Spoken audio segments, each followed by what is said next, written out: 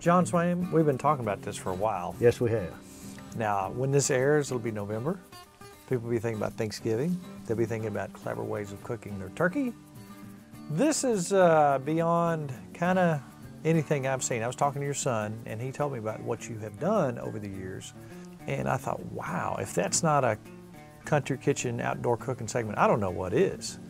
First of all, the thing that fascinated me is it's outside. The big, the big draw here 90 minutes for 12, 13 pound bird. 90 minutes most of the time. Ridiculous. And good taste. And good taste. Most of the moisture is remains in the bird and uh, it's tender as can be and it's, uh, it's pretty, and it doesn't tie up the kitchen while somebody's trying to cook something else. Exactly. Doesn't mess anything up. Here's the deal. When you started talking about this, I think, well, it's, it's got to be terribly complicated. It's probably one of the easiest, and it makes so much sense. And it's right in the Dutch oven realm. It's convection cooking. Mhm, that's in- exactly right. Tell us how you start. First of all, how do you prepare your area? Need a pretty level surface uh, to, to work with. But you took you took a post. It's a cedar post. That's right. You covered it with aluminum foil. Correct. Then you capped it with aluminum foil. That's right. So you know you don't get it dirty on the stick or anything. That's you right. basically knocked it into the ground. That's right. On top of aluminum foil that's already been spread on the ground. Then you take your bird. legs down and impale the bird essentially on the stake. Now you also put salt and pepper on the inside and Salt and pepper on the inside and the outside of the bird before you before you put it onto the stake.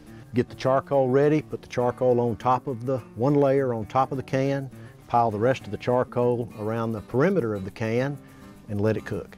Come back 90 minutes later and see what you've got. You've got the taste of the charcoal. A little bit, just a hint. Just a hint. It's got Because a it's little bit of a smoky flavor to it. Most of the smoky flavor comes from its own juices Mm-hmm. as it as it hits that hot side of that can and it and it smokes its own juices up inside the turkey. It's delicious. Now that is not your traditional full-size trash can. I have No, noticed. no, it's not. It's not. I think it's a, a 10 or 15 gallon can, probably 10. I can't remember. I've had it so long I can't remember what the what the size of it is. If you're gonna if you're gonna do this for the first time, it's probably a good idea to burn the can off first Mm-hmm. Any before you put a bird in it, just to get the Yeah. impurities burned out of it and uh, uh, any kind of a lingering, any lingering aroma that might get infused into the bird. I really like where you're going with this. And in the meantime, the oven is freed up in the house for That's doing right. whatever, you know, the, the dressings or anything. And, and you made one more point that your wife said something about. Obviously, I guess you could put something in case some of the juices under here, but she prepares ahead of time for that. She does. She starts a month or two months ahead of time and saves all the chicken broth that she generates and those fine meals she fixes me and uh, stores it. And so that when it's time to make the dressing or, or the gravy or whatever else she needs, uh, she's ready to go. So she pretty much says, send you outside. Uh, she hadn't cooked a turkey and I don't know when. How, how many years realistically you think you've been doing this? Ah, 20 or 25 probably. kidding. It's fantastic. Well, now we get to sit back and walk around, take a look at the cabin, Yeah. go look at some other stuff, and then uh, we'll come back and check on it. Sounds good. All right.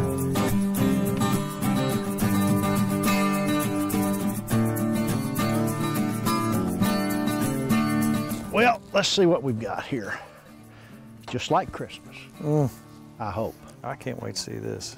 And when the 90 minutes is up, you can very carefully pick the, the can up off the turkey and see what it looks like. Stick a thermometer in there and get yourself up about 165 or 170 and we're there. 165. We got it.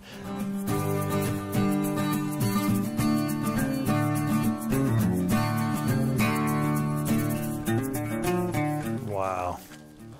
Chevy Chase would be proud, wouldn't he? And you had this timed exactly. You said we're going to check this at such and such time. We did. It's 165 degrees.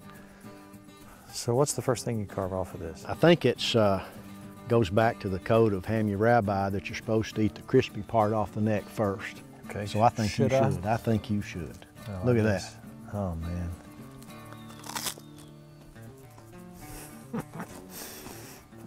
Plenty moist, even though it's crisp. Got a little bit of a, just a hint of a smoky flavor to it. My wife knew I was coming over here today to do this with you, and we agreed that you shouldn't eat good turkey like this without some cranberry sauce. So she got up early this morning and handmade a little bit of cranberry sauce for us to use with this turkey. So I mean, this See is that? fresh cranberries out of cranberries. it's fresh. Yeah, that's that's not a that's not jelly out of a can. Give me some of that up there. That looks Let me just serve you delicious. some there, brother. And what's her name? Marilyn, Marilyn. Thank you so much. she is the queen of the good. kitchen. Try that. Pretty good. Wow. Now, let's cut a big. You want to get a little bit of it in? Oh yeah. Let's see what we got here. Like dark meat. Oh yeah. That's why we we've got him upside down, but that's where the dark meat is. To me, it's richer. Mm-hmm. Has a fuller flavor. I like. My favorite part of a chicken Try that. Thigh. Get that. Look man. how juicy that is. Mm-hmm. Look at the moisture in that. Mm -hmm. That good? 90 minute outdoor turkey. 90 minute outdoor turkey. Try John's. that. Try that little 90 piece minute right with the skin. There you go. Now see, now you're talking.